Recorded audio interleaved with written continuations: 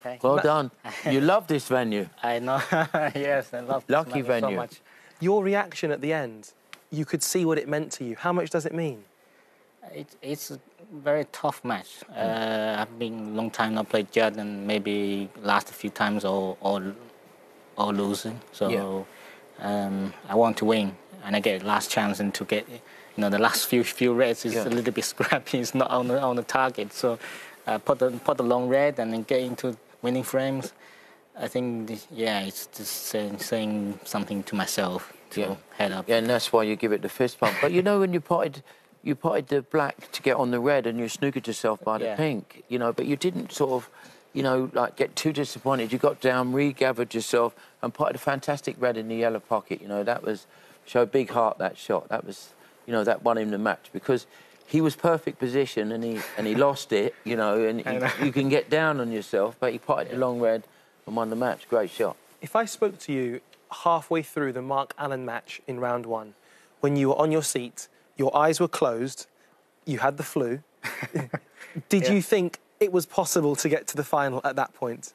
No, no. I just try to finish finish the match. Uh, maybe cannot cannot make it happen, but you know, a lot of fans looking for me to play. But uh, you know, they some some of fans the first time they know me and they want to watch my games, and you know, the first time first time they know my name. So I just want to in the match and just finish it.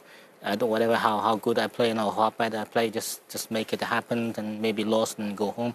Just uh, try my best because uh, it it couldn't it couldn't take well. The body just doesn't make um, control sometimes. Are you are you feeling okay now? Yeah, I'm feeling, much feeling better, okay yeah. now. Yeah. Yeah, in your matches though with Mark Williams, you know, f- five each, you make a century. Your other match was close. This match was close. So, you know, your game's in good shape. You know, it, it's like, uh, but you know, tomorrow playing Ronnie O'Sullivan, you've got to be on it from shot one, and uh, I think it'd be a great final. Also, your route to the final, Mark Allen, Mark Williams, Judd Trump, that's a tough route to overcome all three of those. Do you take confidence from that? Yeah, it must be because uh, uh, I didn't see myself play like that for a long time. No. it's there. It's in the bag. It was a very different match to some of the matches we've seen before. Opportunities for you and Judd missed. There were mistakes. It was twitchy. It was tactical. At that point, do you do you what do you do in your head at that point?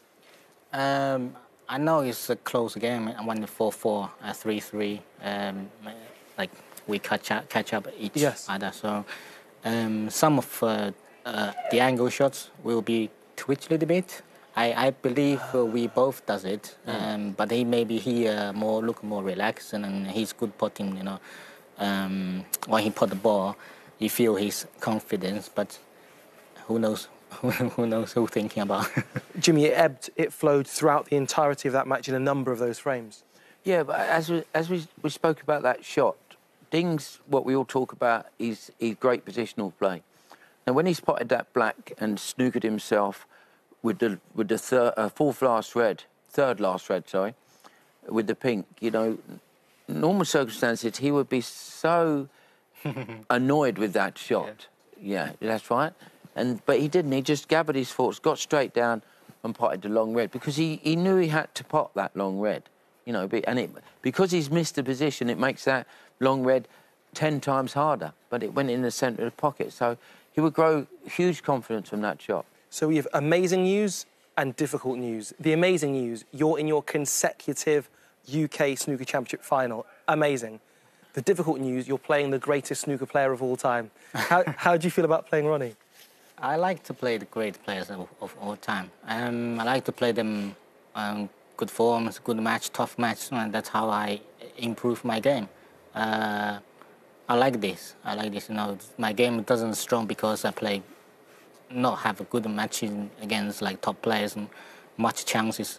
And even when I play play them in past few seasons, I didn't play well. That's no. Um, that's look like no fighting. Uh, it's not not not good. But it, the game like this is much help my, my game. My my snook is uh, a lot improving. When you play like that all the time, is is very very good. Can you feel the crowd are with you when you're out there? Because you have super fans outside every stage door I work at in snooker.